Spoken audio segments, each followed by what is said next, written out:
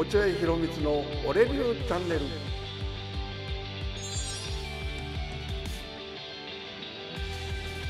俺流チャンネル。監督就任、まあ、受諾されましてやっぱりその後はコーチを決めるのってやっぱすごい重要だと思うんですけどもこれ一番最初にお声かけられたのは誰だったんですか？森進和うん。来季横浜で契約しないっていうのが新聞に出てるんでね。えあじゃあ契約しないんだ。だったら電話して要請するのが一番いいな。でまあ大英当時亡くなった根本さんが万が一お前が監督やるような時あったら森進一を使ってみろ俺が教育してやるから絶対あのお前の役には立つはずだよっていうのが遺言みたいな形になっちゃった。根本さんとそういうお話されたのはいつぐらい？いや俺が改正士やってる時。あのキャンプ回ってる時に、はい。あのし四国だったな、えー高知県のグラウンドで根本さんが来て「おいお前こっち来い話し合うから」っつってもう野球見ないでずーっと練習終わるまで話してたまあその時そういう話が出たんでね。で彼も現役辞めてから一回もユニフォーム脱いでないっていうのがあってね。ユニフォーム脱いでないってことはなんかしらいいものがあるんだろうって。まあそれと根本さんのねことがあったんで。で彼に電話しましたよ。現役時代からも接点もあったんですか？あった、お前からホームラン打たないからどうあの両人形くれっつってもらったけども。でお前からホームラン打ってねえよなっつって言ったら「いや打ってますよ」って言われたけどねまあ社会人の時に一緒にイタリア世界大会行ったメンバーなんで、ね、あそうなんですあ東芝と住金うんとで、住木和歌山でね、はだから電話したら条件メンバーで全部言って「え？っ?」て言われて「足んねえか?」って言ったら「いや今すぐでも反抗します」い、じゃあよっぽど条件もまあしっかり。いやあの単身赴任で行くっていうのは分かってたんで、まあ、東京なら東京の球団でやる分には二重生活にならないんでねそんな金もかからないんだろうと思うけども単身赴任っていうかあーお金かかるでしょ？はい。今はそれを上乗せしたような金額でしたけどねだからその金額も全部決めて球団に持ってったら「え？っ?」て言われた「え？どうしたんですか?」契約ごとは球団がやるんでその年俸まで決めてきたのかって言うから「全権任すから」って言うから全部決めましたよこれでダメですか?」っつったら「うーん」ってなって「よし分かった」っつって2つ返事で社長が OK してくれましたよ。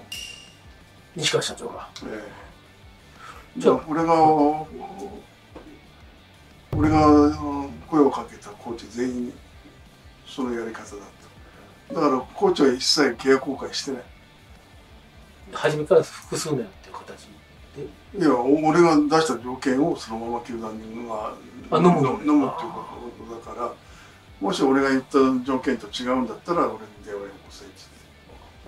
だから彼らは実際年俸闘争したことない辞めるまで。全部落合さんが決められた数字は。だから全権任されたんだ。そういう査定の担当もされたんです。俺流チャンネル。森さん決められました。その後はどういう流れで決められるんですか？まあ高城石峰えー勝崎、えー、宇野高政で最後長嶋かな？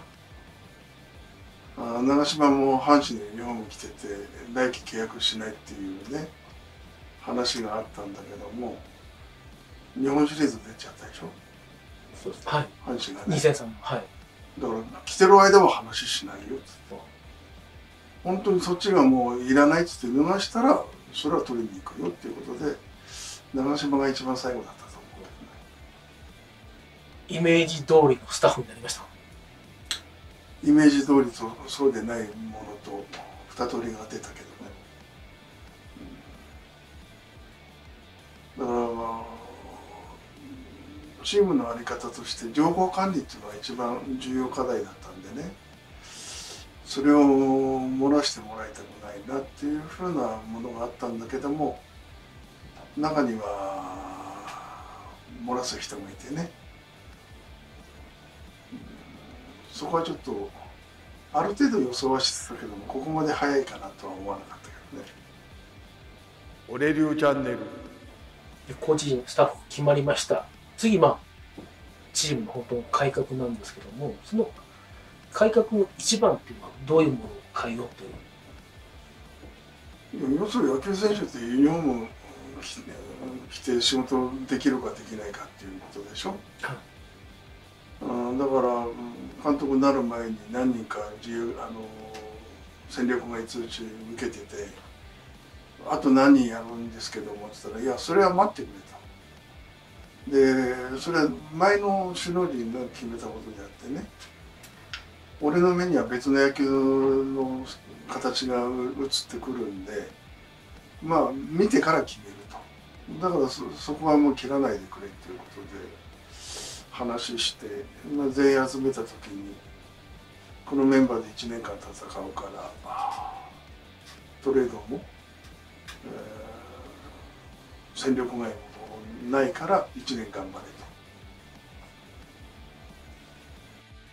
当時ね一番有名なのは言葉としてはもう10%の底上げうん、したら必ず優勝できるっていう宣言されたと思うんですけどもそうですよ。10%底上げってすごいことなんだよ。たった10%と思うだろうけども。プロ野球レベルの10%のがちょっとどんなものかっていうのがパッと浮かばないんですけど。選手からしたら倍上手くなったような気する。するのもんだよ10%って。そんなぐらいは上げ幅なんですね。そうだよ100%のうちの10%じゃない現状の10%だから。そう精一杯やってる上のまだ上積みってことですよね。実際トレードもなくね。うん。本当に原因の戦力で。そうそその代わり横一線でね選手を見なきゃいけないんで。もうその時は新聞は嫌ってほど利用したけどね。そういうあ一応。よ4番バッター何人もいるとかさ、はい。俺流チャンネル。監督就任されてユニフォームのデザインも変わったんですけどもあれはなんか意図があったんですか？いやあのーチームを改革しろっていうことだから同じデザインでまずいだろうっていうことでユニフォームを変えたんであってね。でデザインはうちの女房と息子がやってで当時日本ハムがデザインのデザイン料4 5千万だとか1億だとかっていうような話があってまあデザイン料を取ってんじゃないのかっていう憶測のが出たけどもそれは一切ないんだ、うん。で要するに原案を描いただけであってね。であのラインだってちゃんと、えー、8センチの幅それは広がりでっていうことで、えー一番裾が8センチとかっていうのもそういうの全部決めて。でここのロゴだけはどうしようかなって考えたんだけどね。CD にであれは斬新的なデザインだったんだろうとは思うけどね。落合さん自身のなんかこうそこにデザインのところにこだわったことあったんですか？これ何回も書き直してオーナーの承認取らなきゃいけないからそこはなんでこういうふうになったのかっていうその説明をちゃんと社長にして社長に持って行って説明してもらって最終的に OK のもらってね返事をもらって。だから最初あのユニフォームに出た時には地味だとかかっこ悪いとかって言ってたけどもそれは最初は誰でもケチつけるわな。まあ何か変われば誰かね。うん、で最終的にあの日本が一番あのかっこいいっていうふうに言われたけどね俺流チャンネル。一番まあ印象深いユニフォームだと思う。んです中日にはないよ。ないロゴだから、うん、あの CD っていうのをここにつけてね。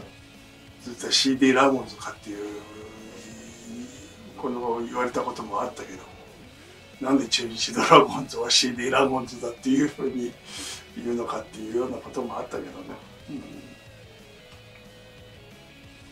でも値段料は一切もらってませんよ。そんなお金ない。